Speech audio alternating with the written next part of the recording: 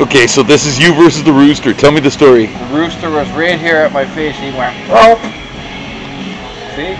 Like, croak. Yep, yep, got it. Okay. And no, but no, but then what happened? Nothing, that's all. Then I kicked him in the head. And That was it. and Oh, then I snapped his neck. I went like fucking and so that's Gary one, Rooster zero. Gary Rooster one.